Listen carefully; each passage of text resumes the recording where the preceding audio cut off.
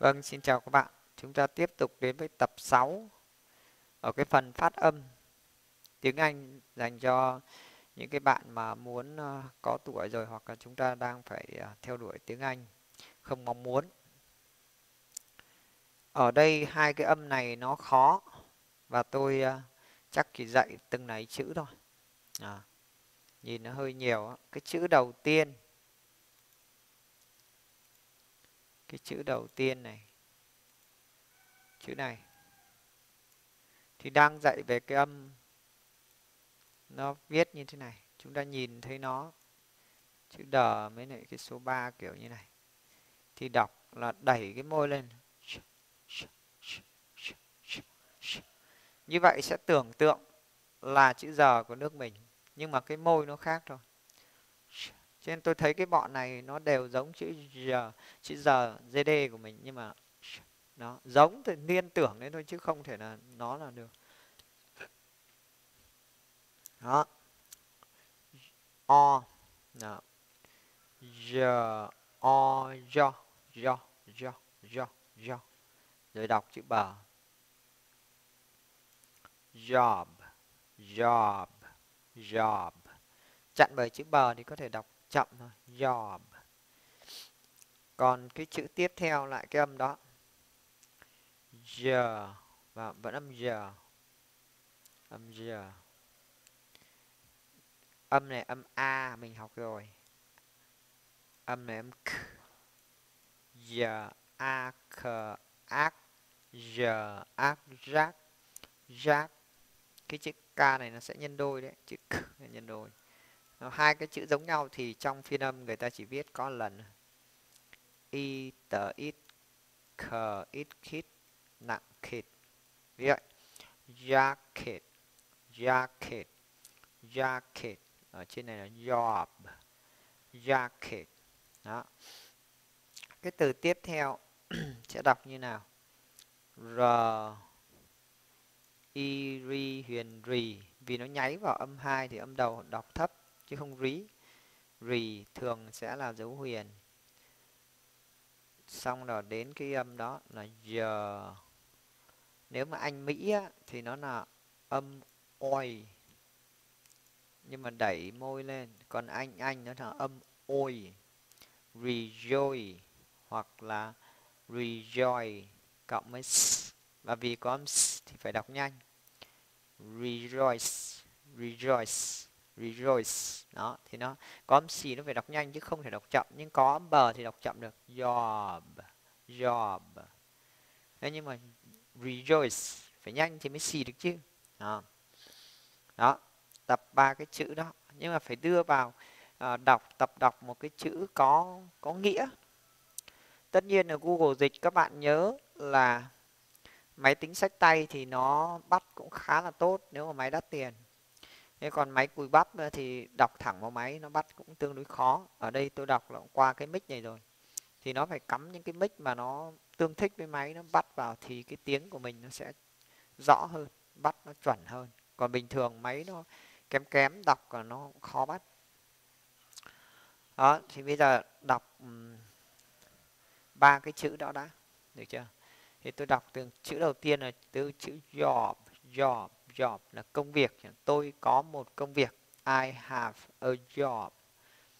À, thì mình hôm trước thì à, bạn à, cảm ơn bạn cường cho cái mẹo đó.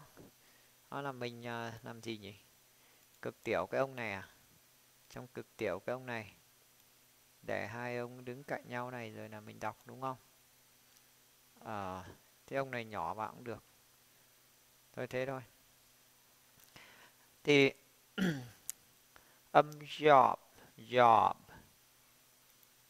job job. Thì đọc nó chậm thôi đọc nó chậm thôi. Thì được Đó, đẩy cái môi lên. I have a job. Đó là tôi có một công việc hạn thế. Thì chả biết là nó đúng đến bao nhiêu nhưng mà tôi khẳng định cứ Google, Google dịch nhá mà nó hiểu được là người nước ngoài chắc chắn hiểu được. Còn các bạn đọc mà Google dịch không hiểu được thì thì không biết là người nước ngoài họ sẽ dịch như nào. Nhưng nhưng nếu các bạn đọc mà Google dịch nó hiểu được hết thì chắc chắn người nước ngoài hiểu được. Từ tiếp theo. Jacket jacket uh, cái áo. Tôi thích cái áo đấy. À, thì I like the jacket. I like the jacket.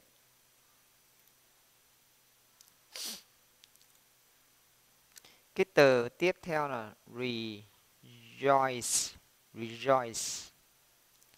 Rejoice là cái từ hân hoan là hân hoan thì đưa vào cái câu gì được? Hân hoan. Tôi hân hoan. Ai? Ai chẳng tôi hân hoan thế thôi à? Cái này chả biết là dùng trong cái tình huống nào. I rejoice? Tôi vui mừng. Ờ cô ấy vui mừng. Đó. Tranh thủ thì tôi nhìn sang cái từ tiếp theo này. A agency. Agency. Âm a thì tôi chưa dạy các bạn. Âm dần âm ơ này cũng chưa dạy này. Chỗ này đọc đọc trước thôi. Nhưng mà chỉ quan trọng đến cái âm của mình là đẩy cái môi lên. Agency. Đó. hay là huge. Cái chữ cuối cái là huge. Huge. Đó. huge đó. Thì những cái đó là cái âm đó. Tạm thời các bạn tưởng tượng, cứ nhìn, nhớ nó phải nhìn thẳng vào mồm tôi. Âm đó. Cho thêm mấy cái âm nữa nha. Kéo dịch nó sang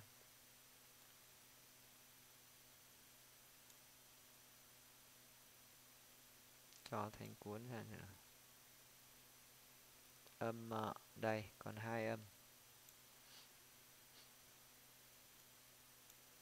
Em này có phải dạy không? Đọc luôn nhé orange. Orange. Đó. Orange. Hay là cái từ kia là từ edge. Edge. Đó. Đó, cứ đúng những cái âm đó thì nó google dịch nó ra. Là ổn là ổn còn cái chuyện mà chuẩn zin như phát thanh viên đài truyền hình hay là đi phiên dịch viên mình không đến mức đó. À. nhưng đến mức đó thì mình lại phải tập với các chuyên gia. Sẽ có những cái người mà người ta dạy cái cách phát âm hay lắm. Bỏ tiền nha. À, như là thầy thắng ở trên uh, uh, chuyên có những cái thầy chuyên dạy về cái đó. Ở Việt Nam mình có rồi. Nhưng mà nó nó nó sẽ vất vả hơn và phải gặp trực tiếp người ta ở đây mình biết được là tốt lắm rồi. Như vậy là có một cái chữ đó để mình biết à trong tiếng Anh có cái chữ đó là không có trong tiếng Việt mình, cho nên khi gặp những cái chữ đó, không ai dạy mình là mình chết, là mình không đọc được. Bây giờ mình quay trở lại, ví dụ nhìn vào cái dòng đầu tiên, nhìn dòng đầu tiên là giờ over này, đâu có biết là âm đó đọc là rồi jacket thì đọc là jacket thôi chứ không? Rồi cái âm này thì tịt hẳn ờ, re, roi, ke gì đấy. Agen, ki này, thì lấy đâu có âm trần hiu ge này, ozan, ge này e đờ, ge. Trời, sao biết được? Nhìn vào dòng một là không có biết. Cho nên đừng bao giờ nhìn nhìn vào dòng một. Mà cái khó khăn của học sinh là đi học không bao giờ có dòng hai. Chỉ có dòng một thôi và cứ nhìn vào dòng một mà đọc, thì quả thực là đầu hàng, không có cửa gì làm nổi. Đó. Giờ giờ giờ giờ giờ giờ giờ đó là cái âm đó, nha. Các bạn cứ tập. Job, jacket, rejoice, agency, huge, orange, edge. Đó tôi nhắc lại các bạn cứ nhìn vào mồm tôi mồm nó hơi xấu. Nó không phải diễn viên nhưng mà buộc phải à, buộc phải chấp nhận thôi. Vì cái này không nhìn vào mồm người khác không học được đâu. Đó. Là cái âm g cái tròn là chữ g thì đã một chữ. Bây giờ đến cái chữ bên dưới.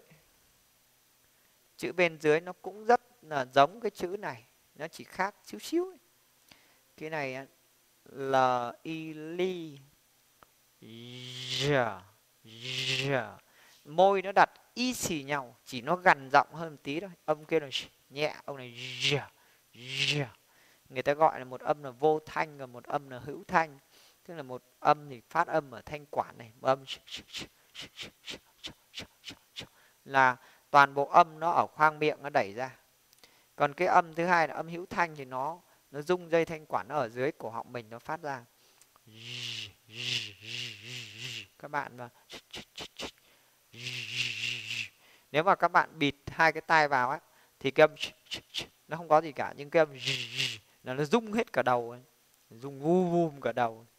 Vì nó dùng đến cả cái dây thanh quản dưới cổ họng mà. Ly leisure television pleasure vision garage measure treasure casual. Đấy. ví dụ như vậy để tập âm nhưng mà nếu khó quá thì hai âm này đọc giống nhau được kệ Không? kệ nó. Thì chấp nhận thế người người ta vẫn hiểu. À, người ta vẫn hiểu. Bây giờ tập từng cái chữ một nhé. Leisure leisure giờ giờ đó cái môi đẩy chu mõm lợn xè lên. Không mà đọc. Vẫn đọc chữ giờ nhưng mà nó là giờ ví dụ như là thằng à, là tên là duyên duyên mình đọc duyên. Đó. thằng là tên là dũng mình đọc dũng. À, tên là duy mình đọc duy dũng duyên. Ờ, à, đã dung à, à, gì nữa? Dương, đấy. Đó, những cái âm đó. Thì, ví dụ chữ đầu tiên, về mình sang kia mình thực hành. Đánh vần lại nhé l, i li j, ơ, j, huyền, j. Còn nếu chữ r trong ngoặc chỉ khi nào nối âm mới dùng đến, còn bình thường không dùng đến. Li giờ leisure. Leisure.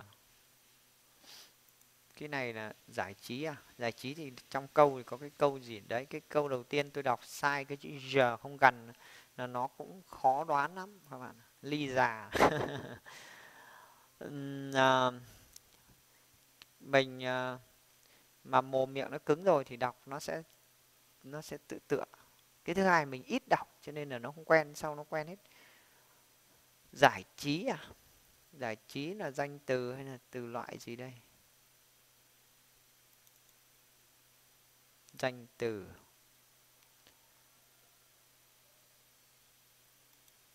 Danh từ thì cái câu này ghép câu gì trong tiếng việt được các bạn? Tôi tôi đi giải trí ai, tôi chả dùng từ như thế bao giờ. Lủng củng. Nó là danh từ cơ thôi danh từ thì đưa thêm uh, sự giải trí đưa thêm từ the vào thì nó dễ hiểu hơn thôi chứ còn chả tôi chả biết dùng cái câu gì với cái từ này. The leisure. Thì nó sẽ dễ hiểu hơn bởi vì nếu như mà mình đọc từ cái không nó không biết là từ loại gì động từ tính từ nhưng nếu mà thêm từ the vào thì nó là danh từ nó dễ hiểu hơn đó là sự giải trí chứ tự nhiên giải trí giải trí giải trí giải trí là cái gì? Máy. Chứ còn cái từ cha television này, đôi khi đọc là television thì nó đọc kiểu gì nó cũng đúng mà bởi vì nó không có từ nào đồng âm cả, chỉ tựa tựa thế chỉ có cái tivi mà ờ television. Ờ television. Thì có đọc sai cái từ này rồi nó cũng đoán đúng ấy mà. Cái từ nó không có từ đồng âm. cái từ g ro g g, ơ, g, huyền g, r, a ra xong rồi đọc cái âm đó. G ra garage garage có ghi ra nó đã ra rồi, chưa cả kịp đọc âm g đấy. Xem nhé. Garage garage garage garage đó. Rồi cái từ đo lường à? đo lường. Measure. Measure. Measure. Measure. Measure. Measure. Nó đo lường. Đó.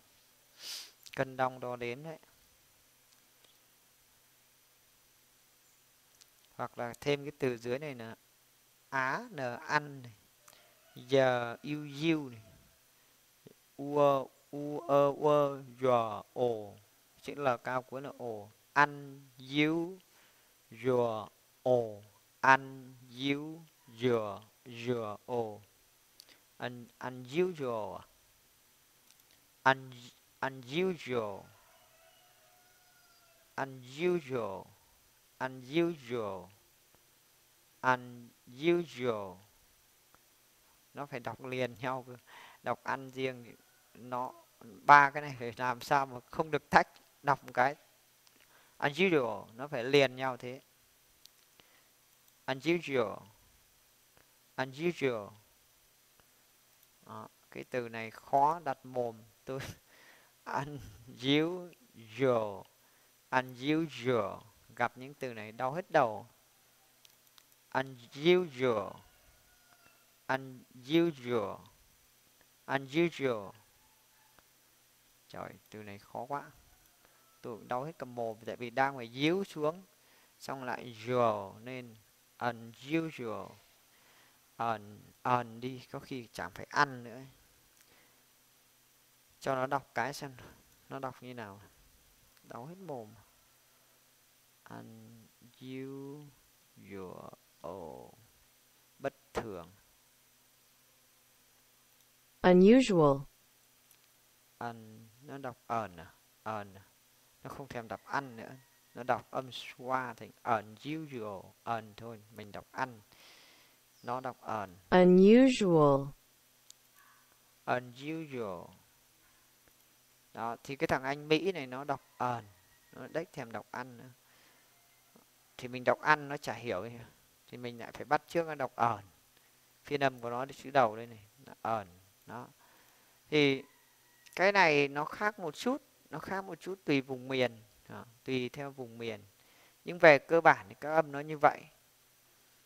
Thì cái hai cái âm này khó khó nhưng mà đọc quen này nó cứ nhớ là đẩy cái môi lên và giống chữ giờ nước mình. Ví dụ dương đó, dũng rùa đó, rào dùng rình cứ đẩy cái mõm lên. Cứ mõm lợn xề mà đọc những âm này. Hay cái từ gì đây? Co, li li, si, on này, ai mà biết được. Nó đọc là collision. Collision. Collision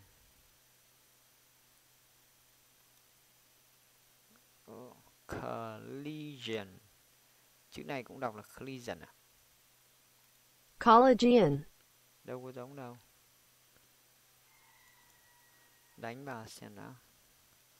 Co đi si on. Xem nó đọc như nào. Collision. Ui dồi. nhưng lại không nhấn vào âm collision. Thế thì nhấn vào âm nào? Collision. Collision collision. Cái nó không cao lắm. Collision vừa phải collision. Collision. Collision. Oh, collision. Đùa nhau đấy à collision thì nhấn vào âm nào? Collision. Collision. Collision. Va chạm. Tôi va chạm. Thì những cái từ này à, chúng ta đừng có cầu toàn quá và cứ bình tĩnh. Đọc miễn là nhớ cái cách đọc của nó. Và đầu tiên có thể nó chưa đúng dần dần rồi đúng. Nhưng mà ít ra thì mình có có đẩy cái môi lên nhá. À, như vision casual casual. Uh, treasure treasure. Đó. mesh mesh ở đâu? Massage à, m ở trên massage đây ở từ massage đây sao đọc từ này hay này. Ma s s a g e rồi. Còn cái từ đó anh em uh, con trai là thích đọc cái từ này. Mình toàn đọc massage sợ nó không tây. Giờ đọc cái từ đó xem nó thế nào. Đâu rồi? Đâu gì đọc cái từ này cho nó khoái. Một là mình đánh vào đây. Nghe anh Mỹ đã vì mình đọc theo Google dịch thì mình phải theo anh Mỹ một chút. Massage. Mơ. Massage. Massage.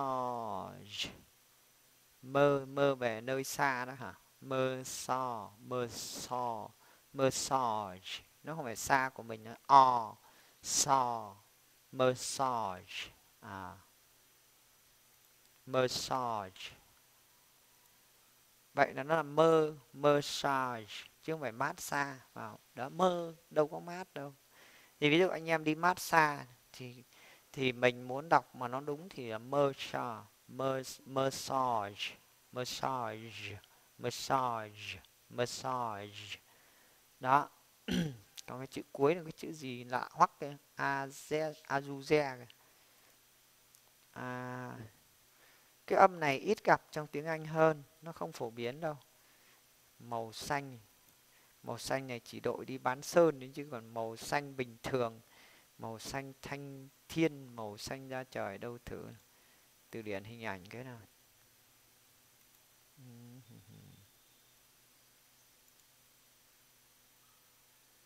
Màu xanh như nào? Màu xanh này à? Thế thì khác gì blue nhỉ? Đây màu xanh như này. À, đó. Dạ.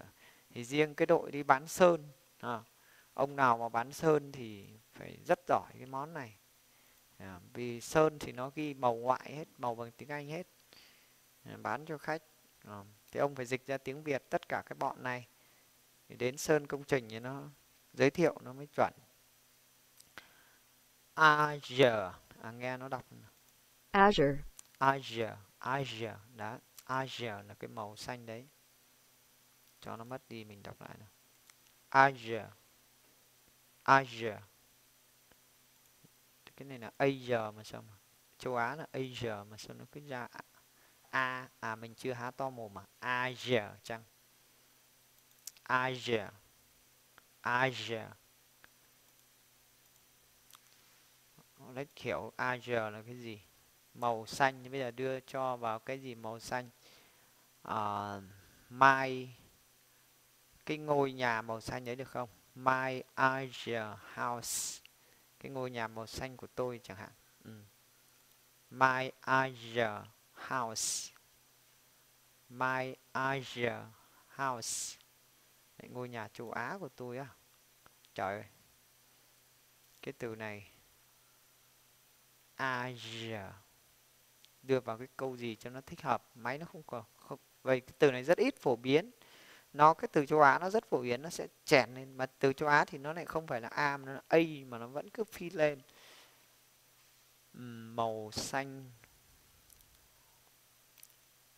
The Azure uh, ờ, bird. Con chim màu xanh này được không?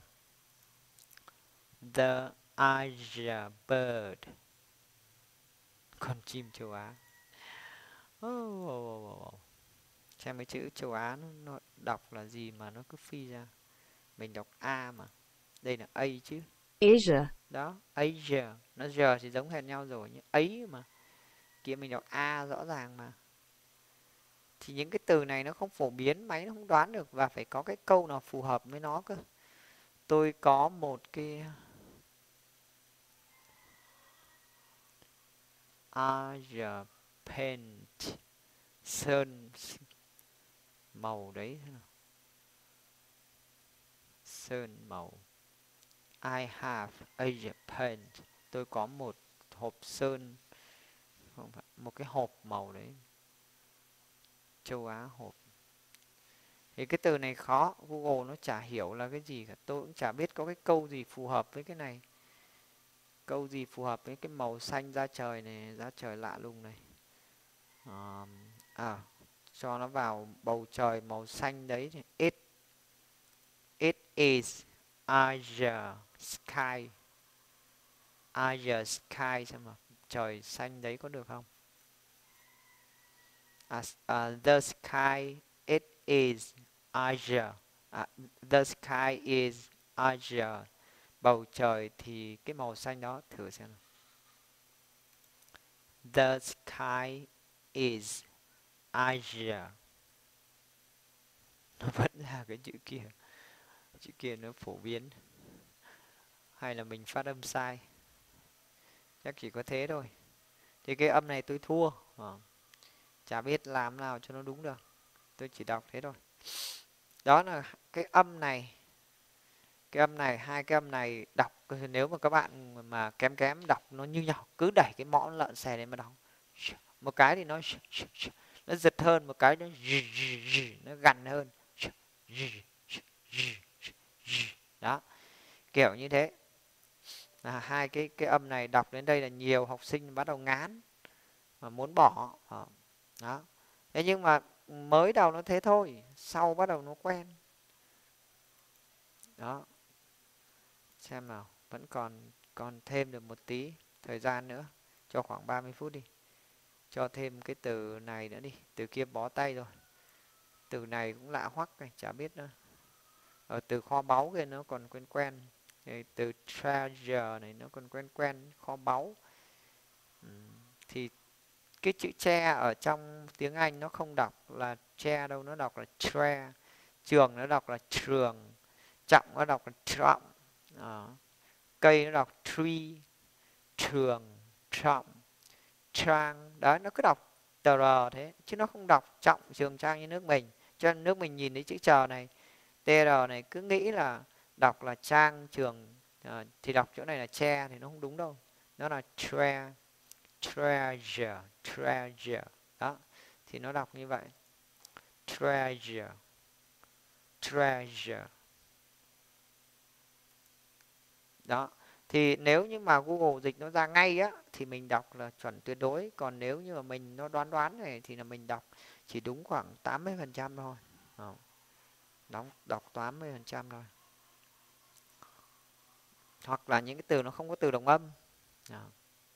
đấy là kho báu. Tôi có một kho báu thì chắc là nó hiểu ngay. I have a treasure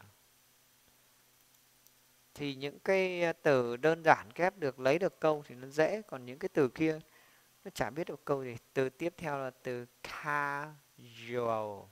Đây là ua này, đây là ồ này. Cho rùa mới ồ. Casual. Casual. Đấy, kiểu thế, rùa mới lại ồ đấy. Casual. Casual. Casual cái chữ rùa tôi đọc khó quá. Kha đi mới giờ tôi không đọc. Kha rùa kha rùa, gần giọng rùa, khó quá. Kha rùa kha rùa kha rùa. Khó chơi âm này quá. Đến mệt. À, mà nó nghĩa nó là gì ấy? Casual casual bình thường à? Bình thường thì tôi bình thường à bình thường cũng khó mà lấy từ um, bình thường này hay dùng những cái từ usually hay là gì đấy. Đây casual I casual bình thường thì tôi uh, đi uh, chơi tennis I casual play tennis. I casual play tennis. I casual play tennis. Cũng chả ai dùng cái từ casual. À đấy nó lại phải là casually thì nó chặn từ mới được. Còn casual này không dùng câu như thế được sai. À, mấy cái từ này ít dùng mà không biết đưa vào những câu nào cho nó phù hợp. Dạ, cho nó phù hợp. Vì cũng chưa biết nó là tính từ danh từ thì từ loại nữa các bạn phải phải đánh nó vào đây. Thì cái đó lại về ngữ pháp mất rồi. Nếu mà muốn ghép câu. Ví dụ cái từ này thì nó tính từ này. Đó phải dành danh từ này. À, thì nó phải dùng trong câu là tính từ hoặc là danh từ. Đó tính từ là bất ngờ cơ. Đó, bất ngờ. Dịch lại là bình thường. Ê cái hai cái âm đó các bạn cứ nhớ cho tôi là âm và âm j j j đó. Và tập mấy cái từ này sai kệ nó nhé sai kệ nó không có vấn đề gì cả. À, chúng ta chưa thể đúng ngay được đâu. Và cái sai này đôi khi cũng không phải do mình đâu nó do google nó đoán nữa. À. thì chúng ta cứ ra được cái âm j, j, j là được rồi. Đó thế còn cái đuôi đằng sau thì nó thuộc về âm khác.